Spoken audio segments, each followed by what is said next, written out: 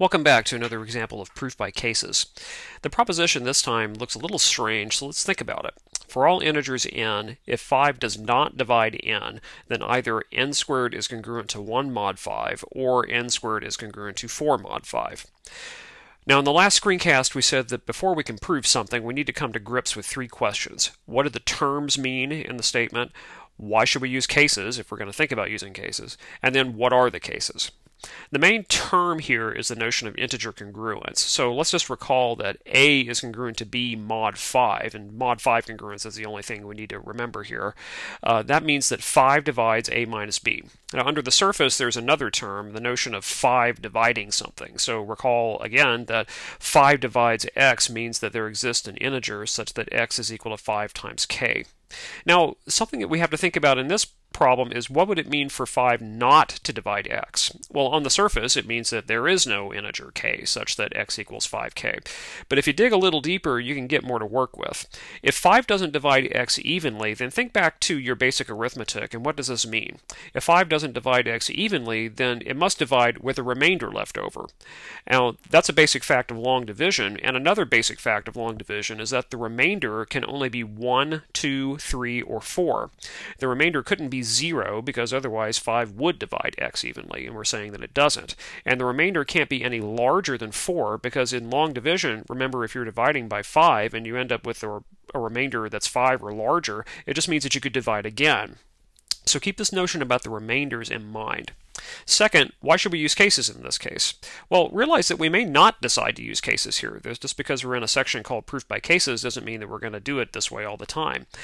Let's consider the alternatives. If we use the contrapositive, we'd have to negate the disjunction that's there in the conclusion, and that would say that if n squared is not congruent to 1 mod 5, and n squared is not congruent to 4 mod 5, then 5 does divide n. This seems complicated, but not overly so. I mean, it is conceivable that we could prove this by contraposition. But on the other hand, a direct proof would involve assuming a negative statement, and this would assume involving two negative statements. So why just work with one negative statement instead of two? A proof by contradiction would involve assuming three things. 5 does not divide n, n squared is not congruent to 1 mod 5, and n squared is not congruent to 4 mod 5. That's three assumptions, and that's good for us because that's a lot of information to have on our side.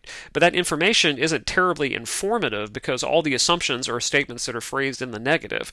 Still, you could try to do this by contradiction, and it might be a decent exercise to give it a shot.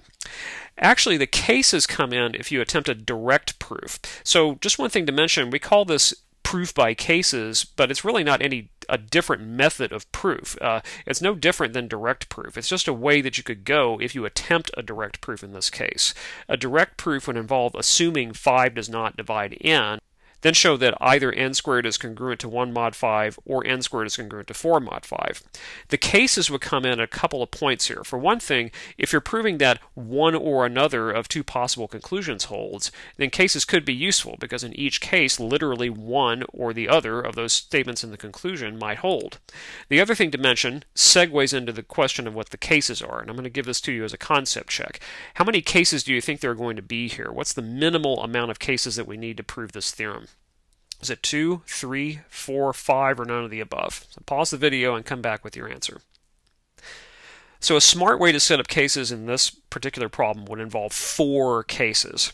And those cases are based on the observation we made earlier that if 5 doesn't divide n, then when you do divide 5 into n, you get one of four possible remainders 1, 2, 3, or 4. And so we're going to set up one case for each of those four possibilities. This situation breaks naturally into four non-overlapping cases that cover all the bases here.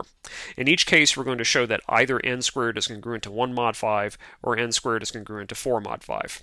Before we do that, here's how we're going to think of the remainders. If 5 divided n, that would mean that there would exist an integer k such that n is equal to 5 times k.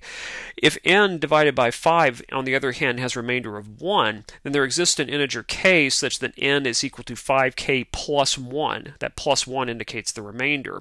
For example, 31 can be written as 31 equals 5 times 6 plus 1, and there's the remainder. Likewise, if n divided by 5 has remainder 2, then there exists an integer k such that n is equal to 5k plus 2, and so on for the remainders 3 and 4. This is sort of like the notion of a type 1 integer that you looked at some time ago.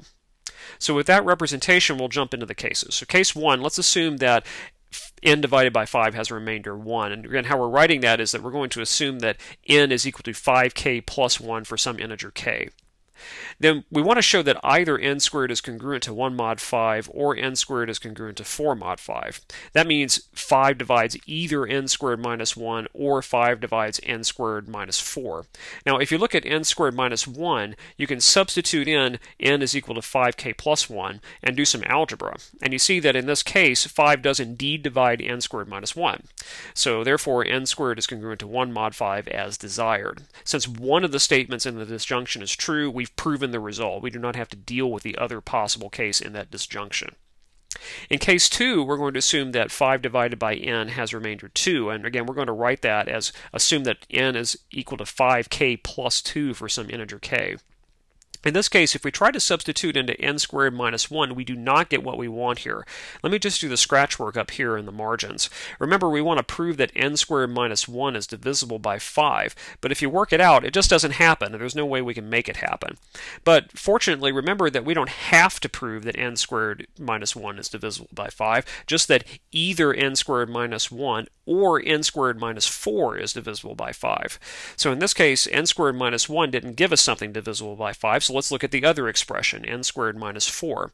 In this case, if I substitute in n equals 5k plus 2 into n squared minus 4, we do the math, and in the end, we get a multiple of 5. So in case 2, n squared is congruent to 4 mod 5. Again, only one of the two statements in the disjunction that sits there in the conclusion needs to be satisfied.